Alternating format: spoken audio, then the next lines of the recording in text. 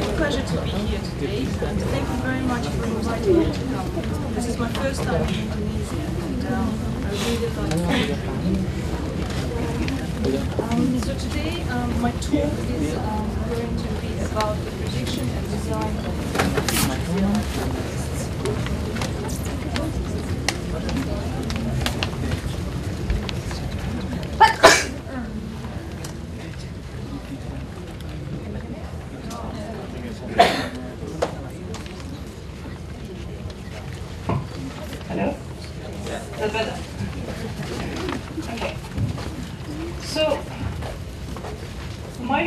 Interests um, focus around porous framework structures, so the structures with the pores and channels around the perimeter. Today I will um, focus on uh, rational design of zeolite frameworks, but uh, apart from that, um, I've been also working a lot on um, some other topics. And um, for example, uh, I've been looking recently at another project where we try to encapsulate nanoparticles, um, very reactive nanoparticles, inside silicas. So here, what we see is that we can make reactive nanoparticles inside silica gel. And those nanoparticles, in bulk usually, they would be very pyrophoric. So this is, for example, um, sodium hydride or sodium amide. But um, silica protects them, and these materials are non-pyrophoric when we put them inside the gels. Um, this uh, project actually has led me recently to um, using this technique for more biologically re re relevant materials, for example, enzymes and um, vaccines. Again, here we are seeing that um, silicas uh, protect uh, those materials um, from the environment. And we can even get a thermal stability in some of those biologically relevant uh, substances. Um, you will see in my talk that I'm very interested in high pressure behavior of zeolites. So here, specifically, I look at what's happening to the framework when we compress uh, it, because there are very interesting phenomena uh, when we uh, compress zeolites. And I will talk a little bit about that work too. I'm very interested also in synthesis, um, in understanding specifically um, areas where we do very small tweaks to synthesis. And these uh, tweaks can bring um, big changes in structure and um, properties. So today I will talk about um, mainly this um, area and this area. So um, most of us in the audience know what zeolites are, but I, I thought I'll just add this slide here. So we all know that zeolites are corner-linked tetrahedral aluminosilicate structures. The primary units of the in zeolites are the tetrahedral units, where we have one silicon or aluminium connected to four oxygens. And these tetrahedra connect to each other through very flexible oxygens, make um, frameworks. Um, sorry, um, I forgot to mention. So um, today we know uh, about 50 naturally occurring zeolites. We can synthesize in the laboratory 204 uh, different zeolite structures. And there are millions uh, of computer simulated hypothetical structures. So there is a big um, step of, of, going between being able to predict uh, which structures uh, can exist and being able to synthesize them in the laboratory. So let me talk a little bit about um, the goal of trying to predict which structures we will be able to synthesize. Let's say um, I want to do some kind of reaction like this, where I'm trying to modify a molecule. So if I want to be green, uh, I want to use, of course, um, a catalyst. And um, let's say I want to choose a, a zeolite catalyst. So I will be specifically looking for um, a specific pore size where this molecule can enter. And then I will look at the catalytic sites, obviously, to do the reaction for me. Now, it would be really nice to um, be able to, to do this um, in real life, because um, we can, um, for example, have some kind of application, specific application, and, and choose a zeolite uh, to do the reaction for us. But this is impossible, this is a dream. So um, th there are problems on, on, the way of um, trying to do this. And there are many different problems. But I will highlight here two, two problems. The first one is um, the bottleneck problem of going from millions of hypothetical structures to actually predicting which one we will be able to synthesize. The second one is even if we can predict which structures we will be able to synthesize, um, it's not very easy to just go in the laboratory and synthesize the structure because um, we need to choose a, a, template, we need to choose conditions, um, so synthesis again is quite tricky. So let us uh, have a look at the first problem here.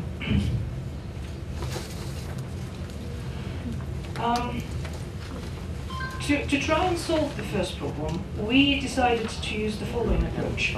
We decided to look at all of the existing structures, so all the ones which uh, we can already synthesize, 204, and we wanted to see what properties they all share. And if we can find a common property, we then can apply this property to the hypothetical ones, and uh, obviously that might help us to choose amongst hypothetical structures we found very, very um, interesting property, intrinsic flexibility of the structures. And uh, I will explain um, why we've chosen it. Um, so in, in order to study the intrinsic flexibility, we wanted to do some simulations. And um, conventionally, we would use um, today molecular dynamics or ab initio um, simulations, but these kind of simulations are really good for studying reactions or uh, calculating energies, but they're really not good for uh, looking at the geometries of the frameworks. Uh, the problem a lot of the times is because um, it's really costly with the conventional methods to um, calculate the geometries. Um, the geometries get, get ignored and the flexibility get ignored. And uh, this is the issue we wanted to address. So we decided to um, uh, come up with a new way of simulating um, frameworks, which we call geometric simulation. So in this method, what we do is, uh, is really very opposite to the conventional methods. What we take into account, we take uh, into account most local strongest forces. So we take the tetrahedral uh, bonding and angles and the steric interactions account and we ignore all the long-range interactions. so it's a, it's a very simple way of simulating uh, the geometry. It's implemented in um, the code GASP, Geometric Analysis of Structural Polyhedra, and it's a very new way of uh, simulating frameworks. So um, if, if, if, anybody is interested uh, in more detail on the geometric simulation, um, we can talk about it later. I won't go into detail now. Let me show you some uh, results which we uh, got from the simulations. So here we're looking at the uh, results for the Faujasite uh, ZLF framework.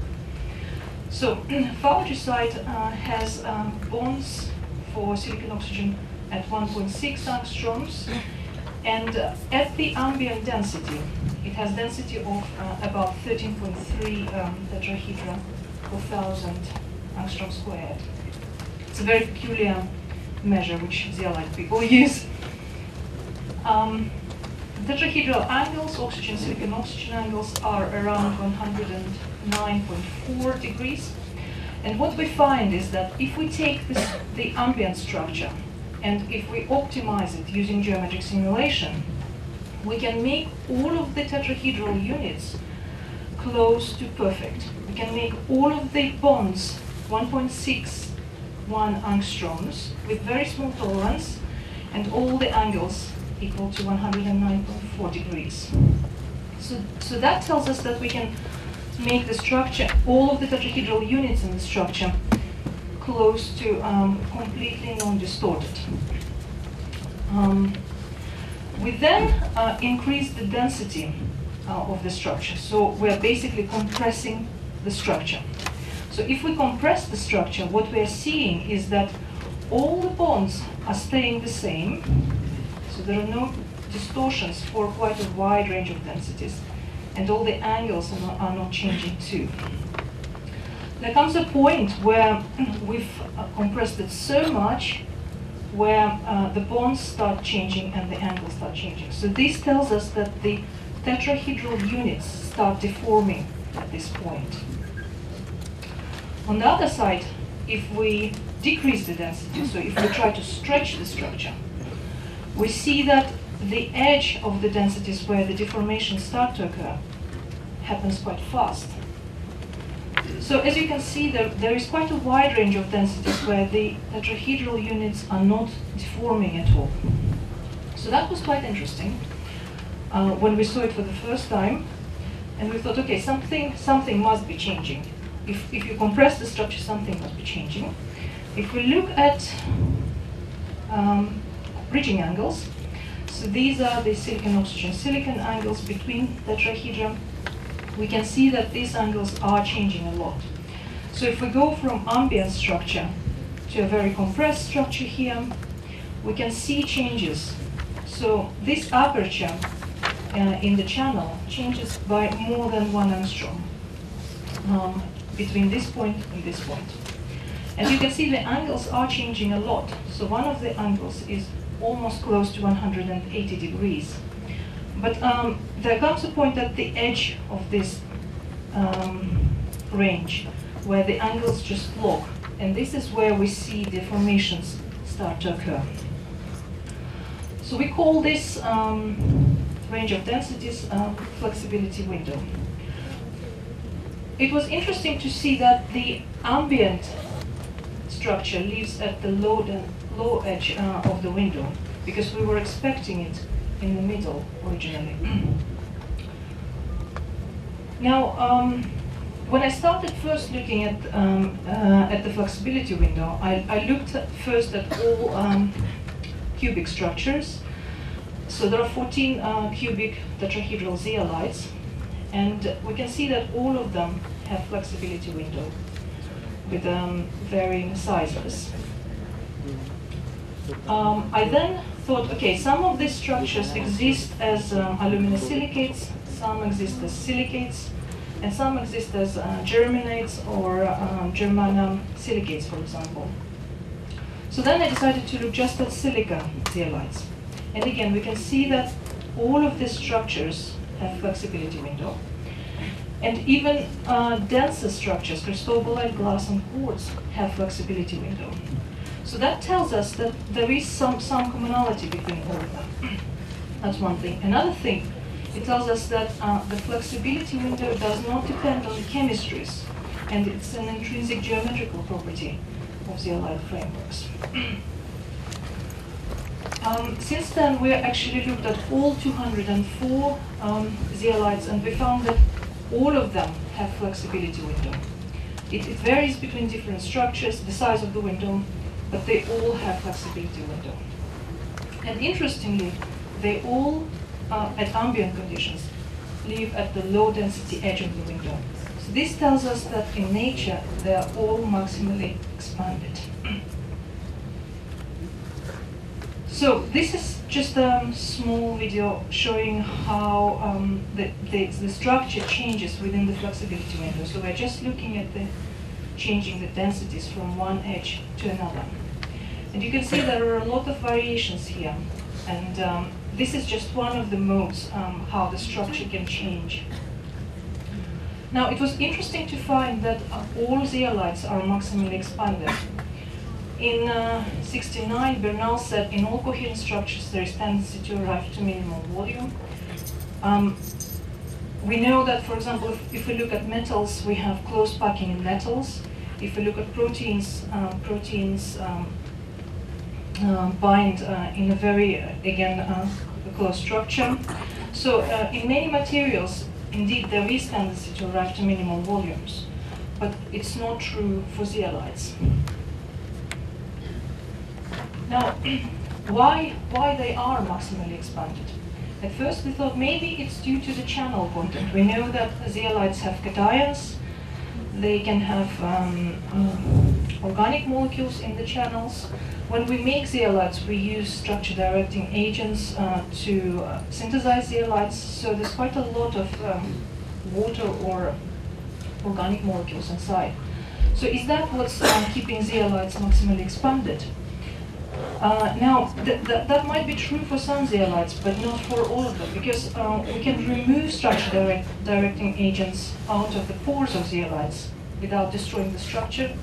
We can exchange cations, again, without destroying structure. So that, this tells us that it's probably not, not the uh, channel content which keeps them uh, expanded.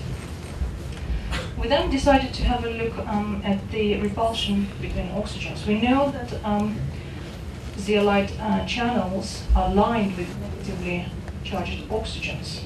And these oxygens repel each other, of course.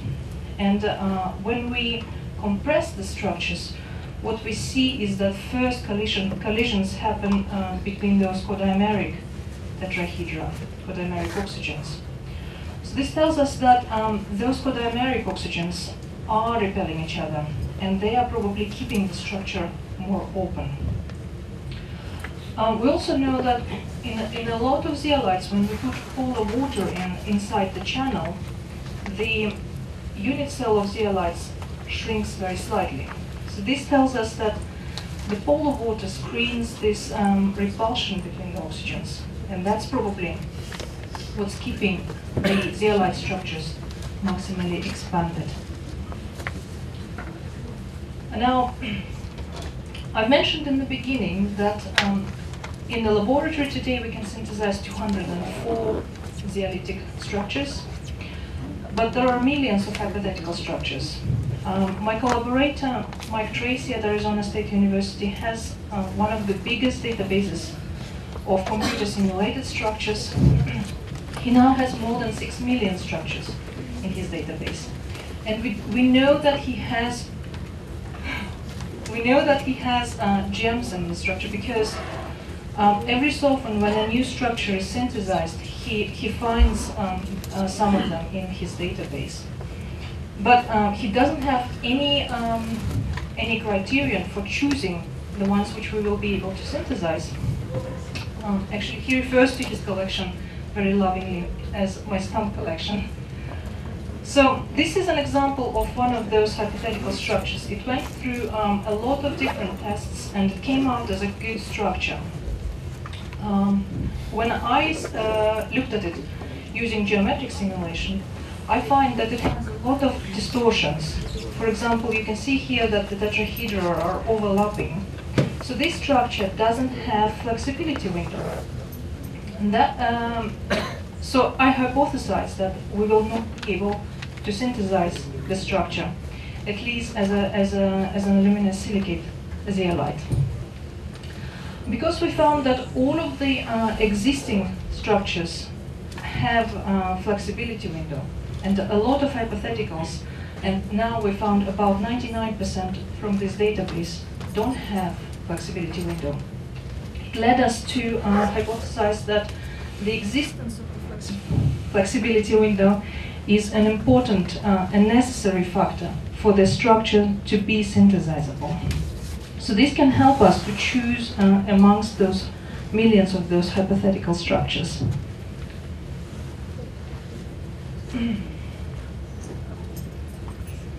Okay, so as you, uh, as you can see that um, the most direct way of um, obtaining the flexibility window in uh, zeolite structures is by looking at the high pressure behavior of zeolites. So I'll show you some examples where we looked at the uh, high pressure behavior and we find very interesting phenomena which are connected to uh, the flexibility window. So, so far we've looked at four um, frameworks, um, analcime framework, MFI framework with silicalite 1 zeolite, faujasite and sodalite. And as you can see, we can, we can look at both single crystals and powder uh, zeolites. Can you hear me okay? Yeah. And the Papasia lights, and uh, we can obtain good results from, from both. So, analcime um, framework um, is one of the densest frameworks amongst uh, zeolite uh, structures. Um, crystallizes in different, uh, naturally crystallizes in different um, variants. Um, so we can have um, sodium alumina silicates, we can have potassium forms, calcium forms. And here we looked at um, these four um, single crystals. As you can see, um, there, are, there are lots of different variations here, but the framework um, essentially is um, very similar between them. Now, analcime itself has a, a, very interesting phase transition uh, when uh, it's put under pressure. It undergoes um, a very interesting phase transition from the highest symmetry, from the cubic symmetry, to the lowest triclinic symmetry with a very large volume change. And uh, um, up until very recently, nobody knew why, um, why it basically goes from the highest symmetry to the lowest symmetry in one go. Because in, in many zeolites, we see um, several phase transitions where if we start with the highest symmetry, we can go through some intermediates where the structure would go in, in orthorhombic, for example, or trigonal forms, and then uh, lower the symmetry down to triclinic form. Now, what, what we find uh, when, we, when we look at the flexibility of analcime um, is something very interesting. So, I'll, I'll explain the data here. So, the experimental data which we have on analcime lies between points A and D. The flexibility window, theoretical flexibility window, extends between points C and B here. if we take an ambient form of analcime, it can go into orthorhombic form very easily. It can go to trigonal form very easily too. But when it's compressed um, at the edge of the flexibility window, it has very little scope to go into any other form. And because it's, it's already quite a dense uh, zeolite to start with, it, it just doesn't, doesn't have any ability to go into any other structure. And that's why we're seeing such a dramatic um, phase transition into the lowest symmetry, which would be out of this page, and we will not be able to see it on this graph.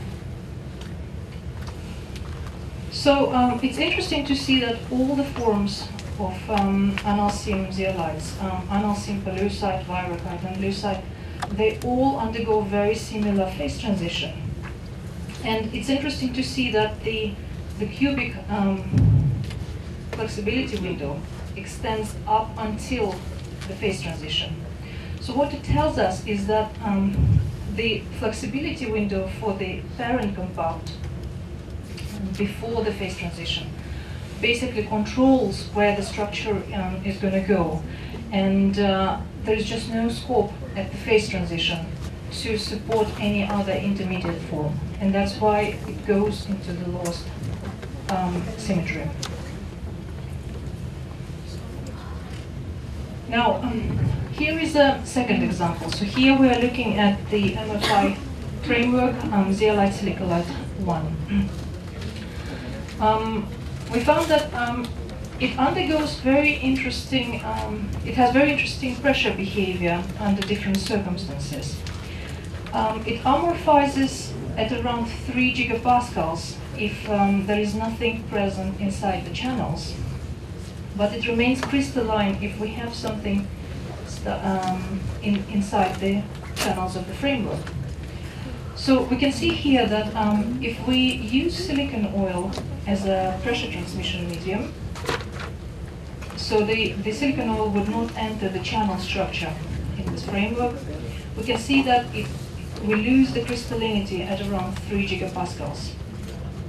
But uh, if we put um, carbon dioxide or argon, it, it remains crystalline up until 17 gigapascals, or maybe even uh, for, for longer than that. so that was, that was interesting to see.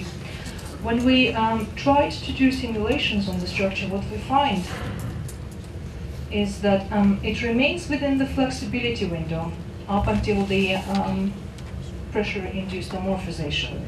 And since there is nothing in the channels, the structure practically collapses, and that's, that's what leads to the amorphization. But if we put something inside the channel, so here we, we have either carbon dioxide or argon, we can go to very high um, pressures, um, to, to 20 gigapascals, without losing the crystallinity within the structure. It compresses, it compresses uh, quite um, extraordinarily, but uh, it does not collapse because we have something inside uh, the channels. So um, I guess the uh, the relevant um, example here would be uh, a wine rack. You know how the wine rack would collapse if, if you don't have any bottles stuck inside. But um, if you put the bottles inside the wine rack, you can't collapse it because there's something which is bracing the, the channel structure. Skip this. Um, so let me just summarize. I've told you today about um, this new property, flexibility window, which uh, is a range of densities over which the structure does not deform its primary units. We found that uh, all of the existing zeolites share this property, and a lot of the hypothetical structures do not um, have this property. I've also told you that uh, zeolites in nature are maximally expanded, so we can um, compress them quite easily, but obviously we can't stretch them very easily. Um, the existence of the flexibility window can be um, one of the criteria for selecting amongst millions of the hypothetical structures. And I've showed to you that um, the flexibility window is connected to the phase transitions and um, other phenomena in uh, zeolites. Um, I have um, a lot of really great collaborators working with me. Dr. Wells um, has written um, program GASP for geometric simulation. Uh, Mike Treacy at Arizona State University has the database which I use.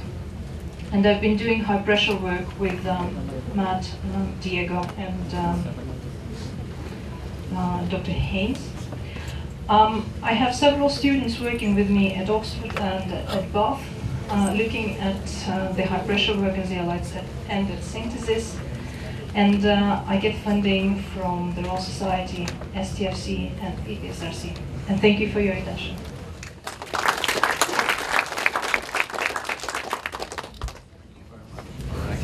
Would anyone like to raise any points?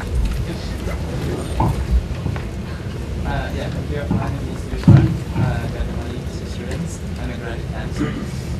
Um, I'm really interested in your simulation, geometric simulations, uh, where in some conditions you say uh, uh, light tend to be uh, expand, expanded, uh, expanded window. Okay, so you, yeah, you you you show us that you like uh, computerized computer, computerized computerized simulations. So how far is possible we be, be directly in the real synthesized by uh, by compress the, the structure, and so they have a the distortion of the structure. Possible in a in in, in a real experiment.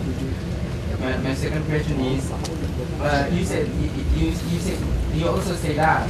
Uh, when there are uh, organic molecule in uh, in cavity or channels in your in your body, say there, there's no contributions in uh, in flexibility of window. How come like that? I think uh, as a template, as a template, okay, they have must must have contributions to control the the, the window. Um, yes, so um, several points here. So let me just address the second point first. So I said that it's true that in a lot of structures, um, when there is uh, a template or a present structure, we can remove it without destroying the structure. That tells us that um, it's not the primary, um, the, the cation or the uh, organic not play a primary role in, in, in having the structure maximally expanded. But we found that in some zeolites, you know how when, when you remove organic the structure collapses. So in those structures, it's important to have the organic because without it, the structure will not, the, the framework will not be supported. So um, it, it's true, it's, it's, it's true. It's important in some zeolites, but not in all of them. In, most of them, you remove half the without destroying the structure. So the the um, we, we think that um, um, the repulsion between the oxygens across the channel is more important because uh, that really was keeping the, the pores open. So if, if, there's still uh, organic molecule in, in, in, in the channels and uh, we need compressing, okay, so uh, there is no uh, effect again uh, to uh, organic molecule to to uh, uh, let's say to uh, determine uh, the the the the being established. I mean, we, we have solide and then So- there uh, so, molecule. Yeah, in the, in the example with um, silicalite, for example, when we have something inside the channel, so when we have carbon dioxide or argon in the channel, the structure is really not, not heavy when we compress it, but it's not collapsing. So there's no um, pressure-induced amorphization. So you see, when there is something present, when we have carbon dioxide present, the structure um, under compression is not, is not really heavy, but, but it is staying crystalline, it's not collapsing. So it's very important then. And when, when we have empty channels, the structure collapses quite easily. So, so, so it does play a, a big effect.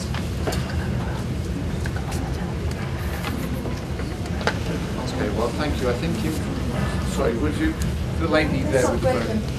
Thank you. Yes. Um, is there any relationship between the uh, expansion and surface of the cell to the function, for example, as extrovert or molecular?